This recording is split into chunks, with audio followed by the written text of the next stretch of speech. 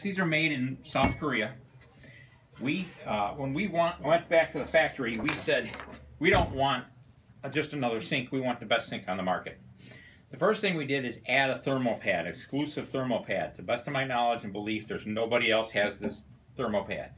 What that does is it keeps the water in your sink a little uh, warmer, but when on New Year's Eve, when you fill it full of ice and put your beer in it, it keeps it from condensating.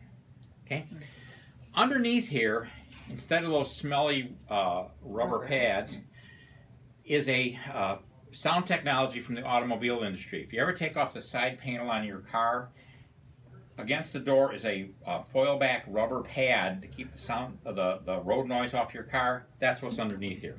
So it, it, absorbs about four times the sound of the smelly rubber pads. Did I tell you there were smelly rubber pads? Mm -hmm. um, then we put a bottom coating, an eco-friendly bottom coating on here. Uh, now, when we were doing this, uh, we, we had one of our samples that had a white, white undercoating, and it had all these gray scuffs from the shop, from the warehouse, whatever. Uh, it seemed to scuff gray. So Jim said, we want that color gray as the undercoating on the, on the paint so that it's scuffed gray so it won't show the scuff so much. I don't know how important that is, but it's so it's just to make the underside look nicer. Yes. Well, and when you're carrying it in, you don't have all these scuffs on it. Yeah. Right. Looks like it. They, they don't affect okay. anything. Nobody will ever see them except the customer when you're carrying them in. Gotcha. Okay. That is the new logo. That is a that is, uh, Cygnet is a swan, so that's our swan logo. Um, nice. The factory just put in eight new finishing machines, so the machine will be uh, uh, consistent.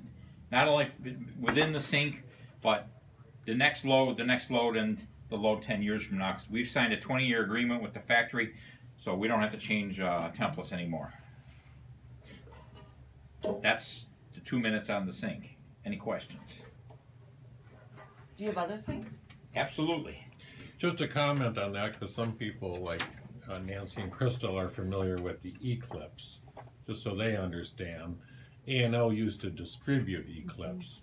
They stopped doing that because they couldn't get the quality that they mm-hmm. wanted. So they're actually having their own sink line manufactured. And these are made in the same factory that the Eclipse 800 series sinks was made in. So that they can control the quality better than what we can control the quality. And we actually upgraded from the 800 series with the pads and the and the, the finish is actually better. We believe it is better. So all of you should just go pick up that sink too, because on the way out the yeah, on the way out the door, pick this up. That's mm-hmm. heavier than that now, sink.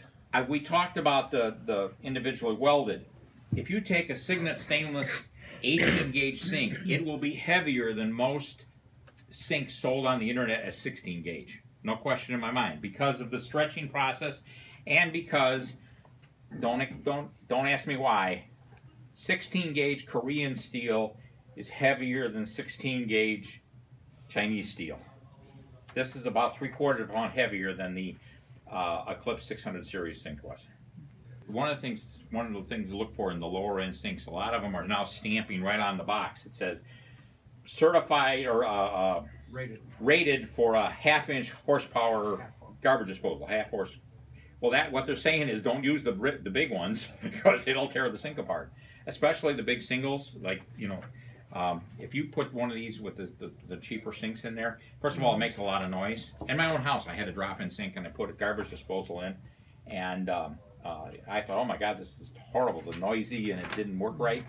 Uh, I changed to a 16 gauge sink, and all the noise and went away. So if you put it in, uh, you know, a, a three quarter or a horsepower garbage disposal in some of these cheap sinks, it won't work.